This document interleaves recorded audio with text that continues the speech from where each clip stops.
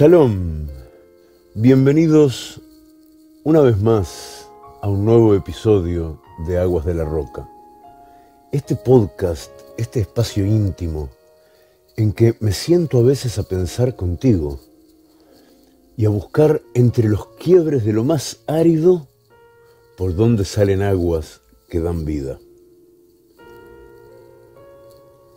Pongamos por caso que mi compañera prepara todas las mañanas para ambos un vaso con un limón exprimido, el jugo de un limón entero, agua caliente y una cucharada de miel. De ese modo, un montón de vitamina C viene a revivirnos y el ácido del limón te despierta mucho más que el café que vas a tomar luego. Y todo sabe maravilloso.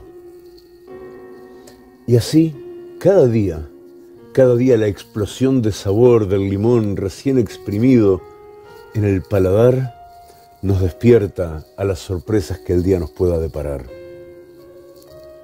Pero un día, un día despertamos y no hay limones en casa. ¿Y qué hacemos? Porque si no hay limones en casa, no hay jugo de limón recién exprimido. Y entonces yo me acuerdo y le comento, mira Ruti, hay una botella de jugo de limón conservado, pasteurizado, que está ahí, está ahí cerrada, preparada. Claro, no va a ser lo mismo. El sabor va a ser eh, casi el mismo no va a haber esos restos de pulpa que, recibimos del limón exprimido hoy. Y seguramente el valor, el valor curativo, el valor nutritivo de lo que estamos consumiendo va a ser mucho menor. Pero al menos por el día de hoy nomás, que no hay limones.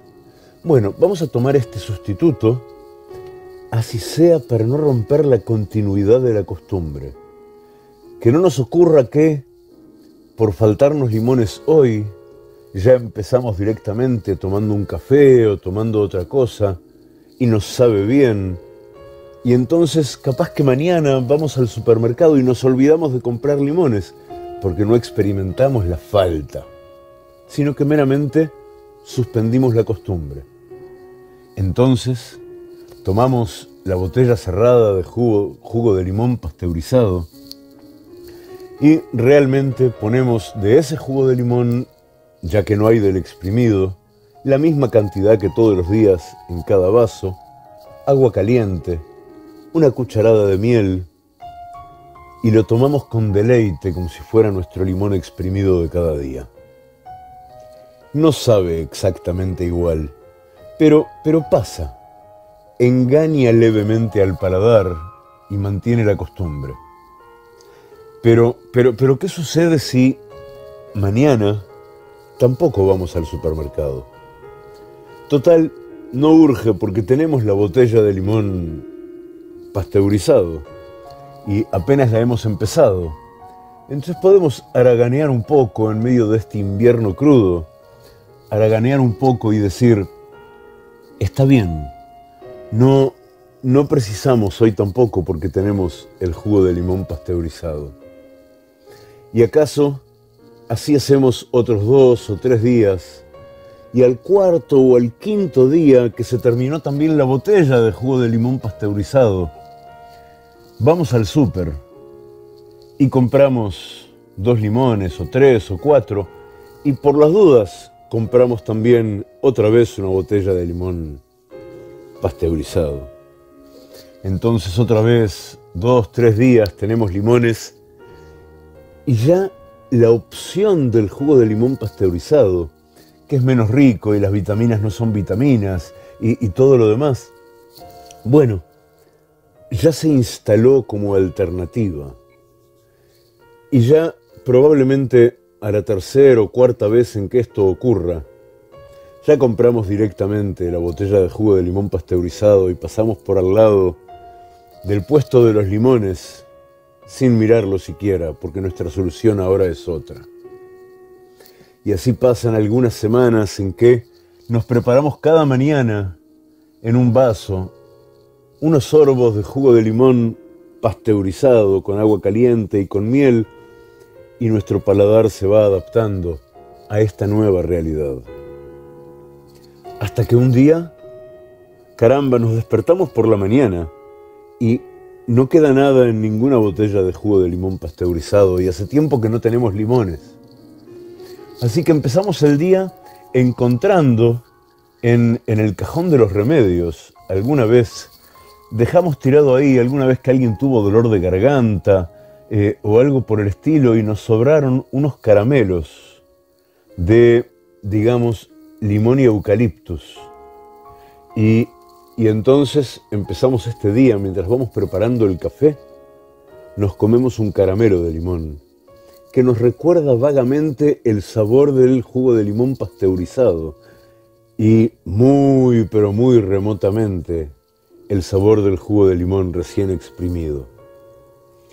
Y así pueden venir muchas más opciones en las que lentamente nos alejamos y nos alejamos de aquello que nos hacía tan, pero tan bien. Y vamos manteniendo aunque él mismo también se va debilitando. El valor simbólico del ritual, el sabor o un remanente o un recuerdo, una evocación del sabor del limón querido y conocido, que representaba una explosión de sabor en la boca. Y ahora, ok, hay una reminiscencia de aquello que aún no sabe bien, aunque, aunque seguramente un día de estos me voy a dar cuenta de que a mí no me gusta comer caramelos en ayunas. En realidad a mí no me interesa comer caramelos en absoluto.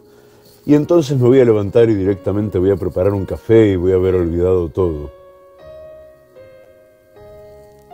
Es muy triste si me pasa eso, porque el jugo del limón exprimido por la mañana me hace muy bien. Y tomarlo juntos sentados en el sofá rojo, en la terraza, entre la naturaleza rodeados de pajaritos que trinan, y en estos días sintiendo el repiqueteo de las gotas de lluvia sobre el techo de zinc o sobre el techo de madera de la terraza, se siente muy pero muy bien.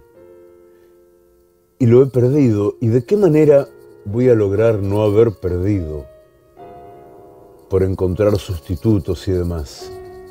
Yo voy a lograr no haber perdido si cada vez que me encuentro en la situación de no hay limones, caramba, cada vez que me encuentro en la situación de no hay limones, me digo a mí mismo en voz alta y nos decimos el uno al otro, lo que queremos tomar es jugo de limón recién exprimido, que lo exprimimos nosotros mismos ahora. Y como hoy no hay Hoy nos permitimos un sustituto para mantener el valor simbólico del ritual, pero mañana sin falta vamos a comprar limones y los vamos a exprimir. Y pongamos por caso que, por alguna razón, durante un tiempo, no fuera posible conseguir limones, o los limones fueran tan caros como ha sucedido, que fuera un despropósito completo salir a comprar limones. Entonces, lo que yo debería hacer es cada día, cuando uso el sustituto que sea para evocar el ritual del jugo de limón exprimido, cada día decirnos cada quien a sí mismo y cada quien al otro en voz alta, mmm, hoy consumimos esto que no es aquello que quisiéramos estar consumiendo, consumimos esto solamente para no olvidarnos de nuestro querido jugo de limón exprimido. Y entonces, si hago eso cada día, seguro que a la primera oportunidad voy a volver a exprimir limones por la mañana y el tiempo que pasó en el medio será como que no lo hubo, porque lo que siempre estuvo presente es el valor del jugo de limón natural, exprimido recién ahora, con agua caliente y con una cucharada de miel rebosante ese jugo que nos hace tan pero tan bien. Y no va a tener ninguna importancia si tuvimos que pasar días, semanas, meses consumiendo cualquier sustituto en su lugar, o incluso si no hay ningún sustituto, algún tiempo, algo que tenga la más mínima reminiscencia de sabor a limón. Entonces me voy a levantar por la mañana y antes de preparar el café sabroso en mi cafetera italiana, vamos a decir los dos, hoy no tomamos tampoco nuestro jugo de limón exprimido porque no está a nuestro alcance, pero a la primera oportunidad vamos a recuperar nuestra costumbre, nuestra tradición y lo vamos a hacer con enorme felicidad. Claro, es verdad que nosotros consumimos todos los días el jugo de un limón exprimido cada uno. Es verdad que eso nos hace muy felices. Es, es verdad todo lo que les acabo de contar.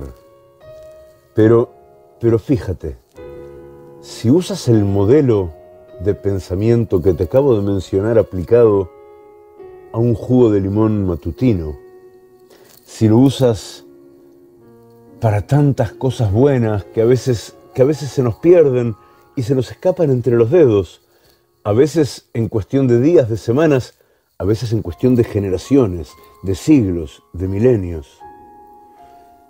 Si nos acordamos y evocamos aquello tan bueno, tan bueno, que hubo alguna vez y no hay más, o aquello tan bueno que nunca lo hubo en realidad, pero que no ceso de añorarlo.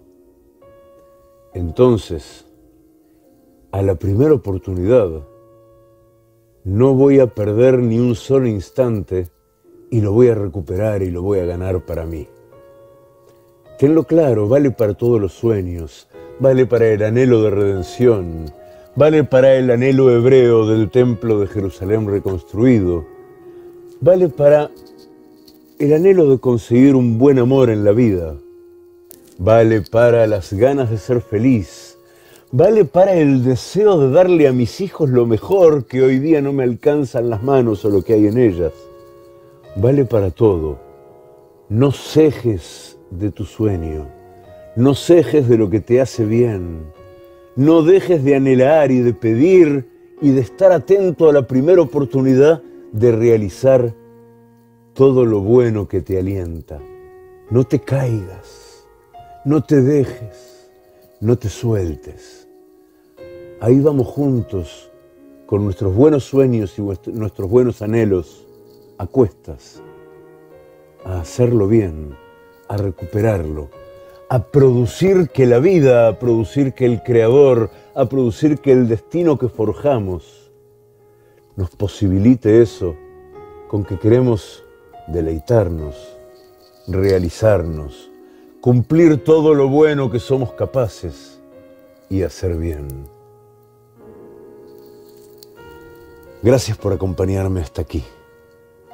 Espero que te sea bueno y grato este pensamiento mío adentro de un coche bajo la lluvia mientras espero por algo. Y aprovecho entonces para compartir contigo de la luz que me alienta a mí también. Si te es grato y te hace bien, acordate, ayúdame, ayúdame a seguir adelante y seguir haciendo esto. En la plataforma que sea que estás escuchando mi podcast, por favor, suscríbete y date una vuelta por patreon.com barra Daniel Hinerman.